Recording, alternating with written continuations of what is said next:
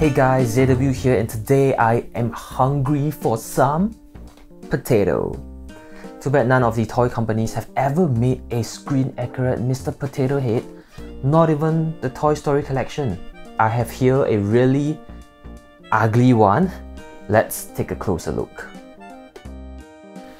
Yeah, no, these are so bad I don't even want to review them. This is the first time I honestly feel that there is just no way I could salvage any parts and there is also nothing worth scanning because they all look like poo poo. However, I am grateful for the back compartment. At least I can learn how they did it and replicate it. So I guess we have to start from scratch. Or do we? Well, this is one of the rarest occasions where my accounting degree comes in handy, and that is how to Google. Yep, it's completely useless. After scouring through the usual 3D model sites and encountering some really interesting models, you wouldn't believe where I found what I needed. YouTube. Who would have thought a time-lapse video would be any useful? But if you look closely, there is a download link this ultimately generous YouTuber by the name of Rozi3D has gracefully shared their Mr. Potato model for free. Something I would probably never do because... So thank you Rozi, you are a lifesaver and this is certainly a time saver. Remove the background in Blender and export it to ZBrush to modify it. At first glance, it might look really accurate, but after comparing it with screenshots from the movie, it seems like we still have a lot of work to do.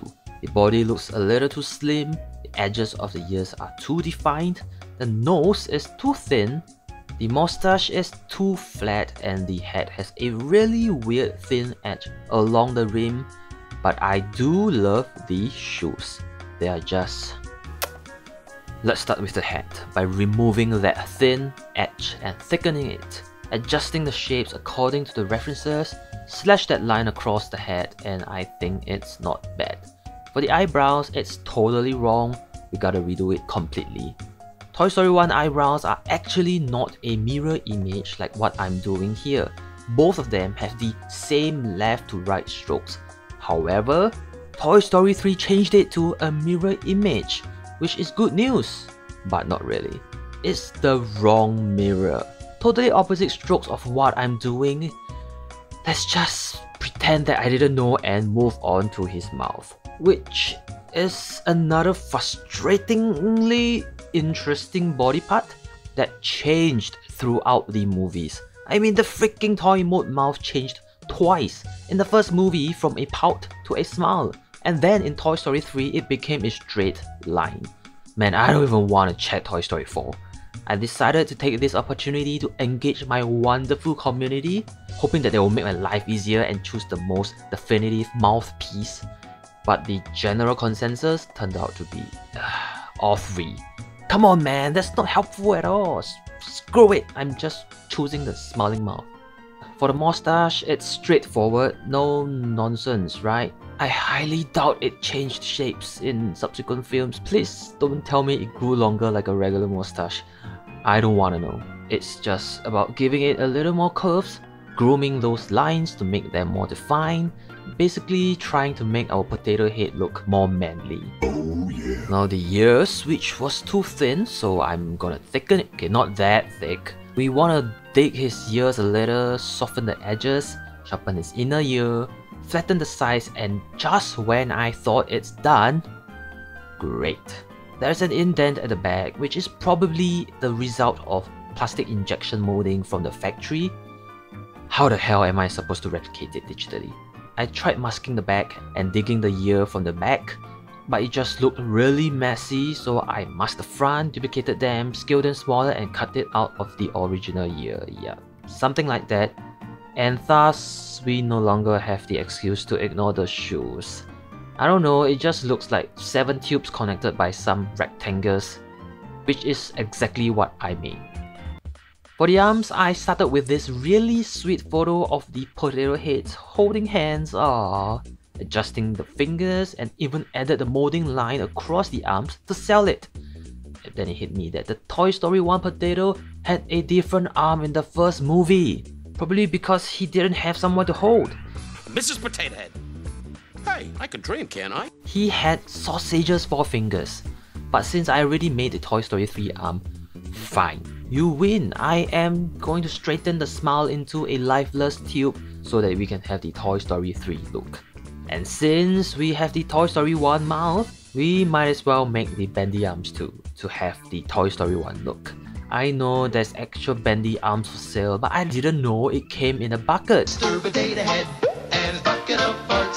I don't know if I will get it since I don't plan on bending his arms anyway. He's for display only. After giving them a little color to see the parts more clearly, I adjusted the eyeballs and now we have both arms.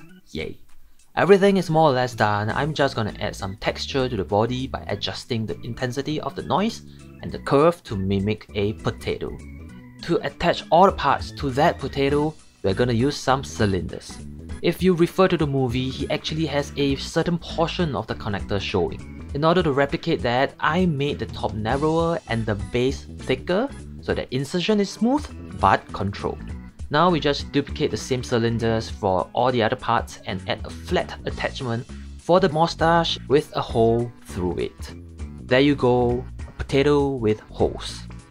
After cutting the potato in half, we are finally attempting the back compartment. Fun fact, he didn't have it in the first movie but magically opened up his backside for his missus in Toy Story 2. Now we know who's the boss in this relationship.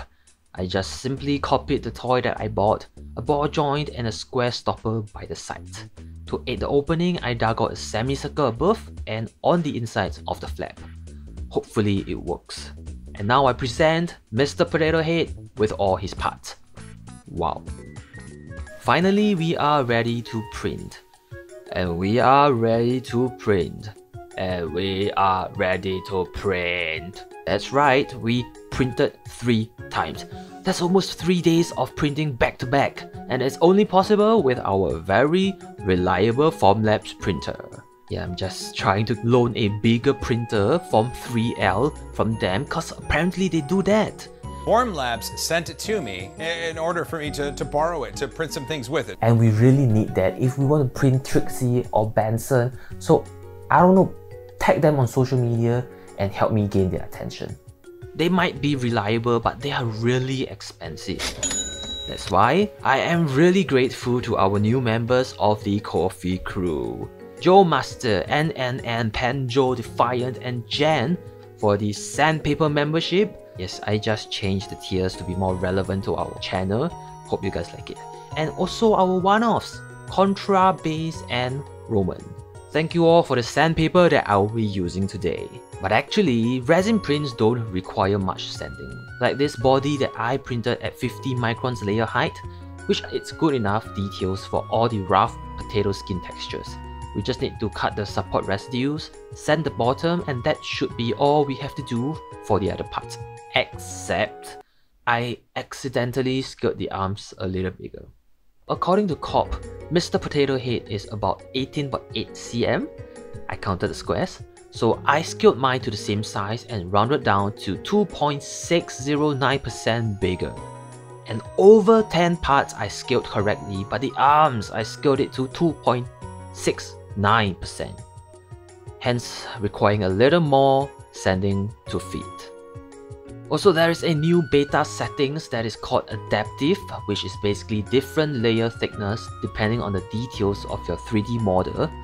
And I foolishly tried it when printing all the other accessories, and that resulted in a very uneven layer for all of them as you can see from the head. We have no choice, we have to sand them all thoroughly. And that should be the last of the sanding. Let's clean things up and move on to the eyebrows. Why the eyebrows? Cause it doesn't have a hole to insert in place. It's just sticking on a potato with some kind of movie magic, but in real life, that's an issue we can fix with some magnets. I have here a pretty small magnet, but it's still not small enough for the eyebrows. But it's okay cause I have a even smaller magnet. It's so tiny. And I think it works fine. I'm just gonna drill a small hole and glue the magnet onto it. While we wait for that to dry, let's get ready for painting. If only it were that easy. After a quick grey prime, excuse my thumb, it's even more obvious that our sanding journey is far from over. Look at the jagged edges here and the layer line on the nose, it's definitely more obvious on this shoe. Back to sanding I guess. Ah. Let me save you the agony, or perhaps it's enjoyment for you sadistic people. Oh, oh kapatan. To fill the holes out, I'm gonna try a new tool that is UV putty. Not much difference from clay really, it's just using UV light to cure it instead of a heat gun. And oh look, it works. Sorry, all the sanding just drained all my enthusiasm away. Uh, I, but I think we can finally paint. Some black for the black part, white for the white part, and oh, the ice is not smooth. anyway, the compartment works. Yay. So I kinda suck at matching colors and I've only recently managed to find the right color for skin. So this is probably gonna take a few tries to get right. Oh, holy shit. I tried my best to match what I see, but sometimes I just don't have the right colors with me. So some parts may look a little off. But I guess I can always repaint. Oops, I did not cover the holes for the shoes because I don't care about the back. After painting the mouthpieces and the black on the eyes, I used a lot of pledge floor gloss to gloss every single piece. Like a lot of gloss. And we are done. Oh man, I really thought this would be a quick project, but it took like 2 weeks.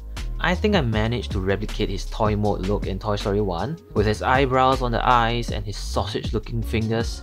Maybe I will do his Toy Story 3 look when I do Mrs. Potato Head.